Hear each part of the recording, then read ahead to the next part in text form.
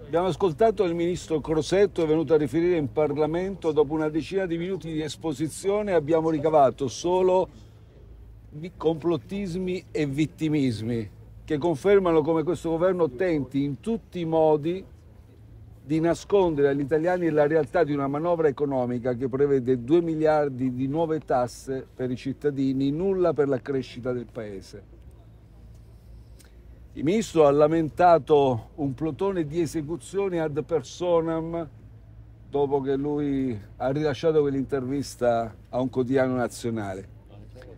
Vorrei rassicurarlo, qui ad personam ci sono solo le fermate dei treni per i ministri e ci sono i privilegi di una classe politica che sembra riportarci indietro nel passato, un passato che grazie anche al contributo del Movimento 5 Stelle ritenevamo di aver definitivamente superato.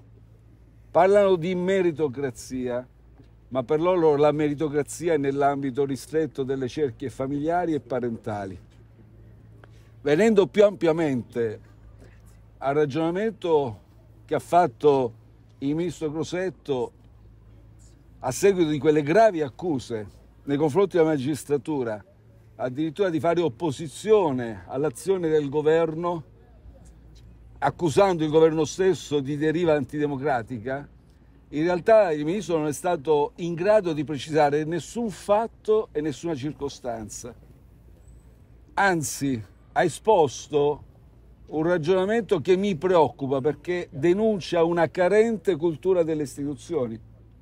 Ha messo sullo stesso piano, ad esempio, un generale come Vannacci, che, il cui ruolo è gerarchicamente e funzionalmente asservito all'esecutivo, rispettivamente ministro della difesa e ministro degli interni, lo ha messo sullo stesso piano dei giudici, che invece godono di garanzie costituzionali, di autonomia e indipendenza, che sono essenziali per tutelare i diritti dei cittadini sono essenziali per garantire l'uguaglianza di tutti i cittadini davanti alla legge e sono essenziali per eh, riconoscere a questo potere un ruolo distinto, terzo, rispetto al potere esecutivo e al potere legislativo.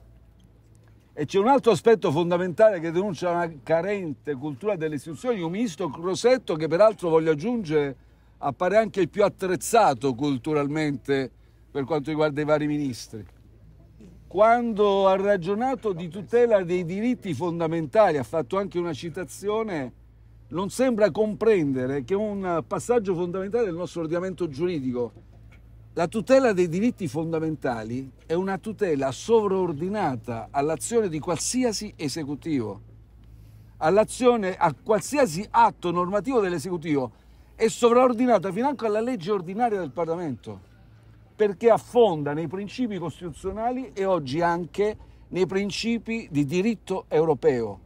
E la tutela dei diritti fondamentali va assicurata assolutamente dai giudici, costi quel che costi, a dispetto di qualsiasi esecutivo che pro tempore dovesse succedersi. E questo che non è compreso.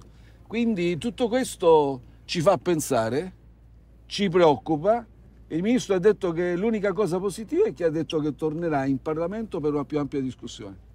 Quindi Grazie. Nell'informativa a questo punto che cosa vi aspettate? Perché se oggi non ha circostanziato diciamo, le accuse nei confronti della magistratura... Eh, ci aspettiamo se non altro che si apra un dibattito civile e democratico che va fatto in Parlamento in cui dobbiamo assolutamente assicurarci che al di là delle azioni di contrasto che stiamo facendo su tantissime iniziative del governo che non condividiamo, su tantissime inadeguatezze che emergano, che perlomeno i capisaldi del nostro ordinamento democratico siano assicurati e siano rispettati. Grazie. Grazie.